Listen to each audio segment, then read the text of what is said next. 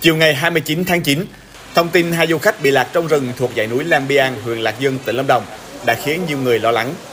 Lo vì lúc này, Tây Nguyên giữa mùa mưa lũ, không ai lường hết điều gì xảy ra khi du khách bị lạc giữa vùng rừng hoàn toàn xa lạ đối với họ.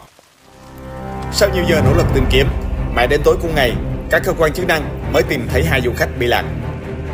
Hai du khách này, một người 27 tuổi, một người 18 tuổi từ thành phố Hồ Chí Minh đến huyện Lạc Dương, tỉnh Lâm Đồng để tham quan núi Lang Biang.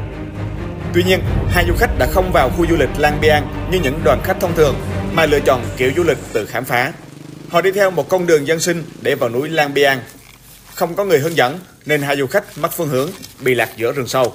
Thứ nhất là cái ờ, tính mạng của du khách với cái là gây những cái như tai nạn này, rồi ờ, cây ngã đổ trên trượt này, nó nó rất là nhiều tình huống. Ở trong rừng thì phải có hướng dẫn, ờ, nhất là phải cần hướng dẫn của địa phương. Tính chung trong vòng 2 tháng qua, chỉ riêng khu vực dãy núi Lang Biang, tỉnh Lâm Đồng đã xảy ra 3 vụ việc du khách bị lạc trong rừng. Cứ sau mỗi vụ việc, cơ quan chức năng đưa ra cảnh báo, nhưng rồi lại tiếp diễn những trường hợp tương tự.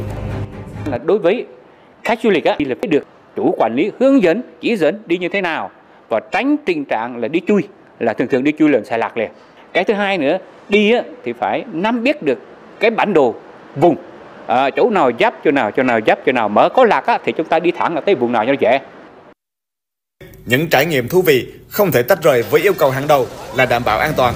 Đặc biệt, trong mùa mưa bão hiện nay, du lịch vùng rừng núi càng phải hết sức cẩn trọng, nhất là không nên du lịch theo kiểu tự phát, thiếu sự hướng dẫn của những đơn vị làm du lịch chuyên nghiệp.